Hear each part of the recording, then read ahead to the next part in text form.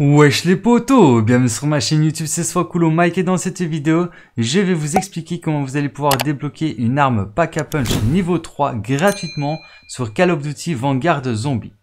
Alors sur la map d'Erenfang, il y a des petits coffres comme ici vous voyez.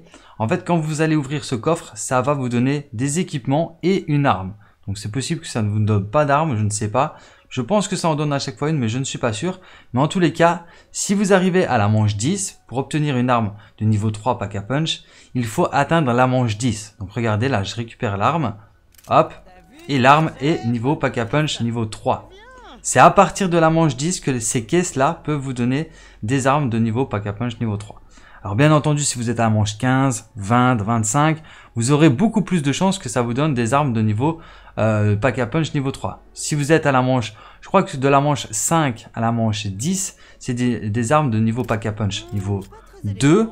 Et de la manche 1 à la manche 5, vous avez une chance d'obtenir des, armes de niveau pack a punch 1 gratuitement. Donc ça c'est pour les petites caisses. Alors les petites caisses aussi, vous pouvez les voir, elles s'affichent en haut à gauche de, sur votre petite map, en haut à gauche, regardez, il y a une petite caisse affichée, donc c'est comme ça que vous les trouvez.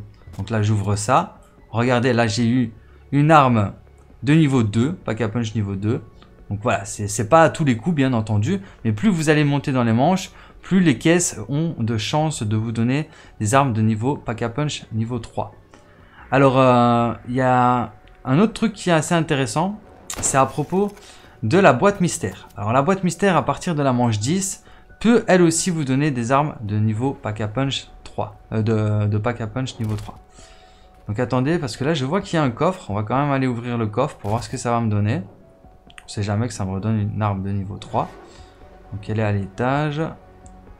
Ok, elle est juste là. Donc je l'ai repérée grâce à ma minimap. Regardez, vous avez même des petites auto-réanimations. Ça peut être utile si jamais vous perdez votre auto-réanimation. Donc dans les petites caisses, vous pouvez en obtenir aussi là j'ai une arme de niveau 2, ça m'intéresse pas. Alors quand l'arme elle est bleue, c'est de niveau pack a punch 1 et quand elle est blanche, c'est de niveau pack a punch bah, 0 pack a punch quoi, il n'y a pas de pack a punch. Alors là je vais aller voir s'il n'y a pas une autre arme quand même. une autre caisse de munitions, enfin une autre caisse que je vais pouvoir ouvrir. Non c'est bon j'ai fait le tour. Maintenant ce que je vais faire c'est que je vais utiliser de l'argent dans la boîte mystère pour vous montrer que c'est possible de l'obtenir aussi, une arme légendaire. Donc là, pour l'instant, il n'y a que des armes mauves, bleues. Donc pas d'armes de niveau pack a punch niveau 3. Donc ça, c'est une arme pack a punch niveau 2. Ok, on va continuer à, faire un peu de boîte. Regardez, là, j'ai eu un couteau balistique de niveau 3. Donc même dans la boîte, à partir de la manche 10, je pense pas que vous pouvez avoir des, armes de pack a punch niveau 3 avant la manche 10 comme ça. Hein.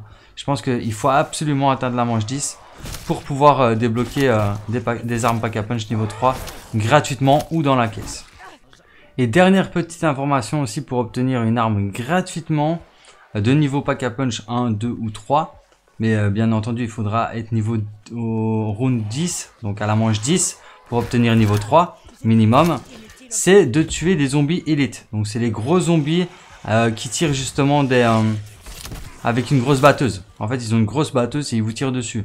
Donc ces gros zombies-là, quand vous les tuez, vous avez une chance d'obtenir une arme. Donc elle peut vous donner une arme de niveau pack a punch 1, 2 ou 3. C'est pas systématique, mais vous avez une chance d'obtenir une, arme de pack a punch niveau 3 à la manche 10, si par exemple vous tuez un, zombie élite. Bien entendu, si vous êtes à la manche 20, vous aurez plus de chances que le zombie euh, élite vous donne cette arme de niveau pack a punch 3.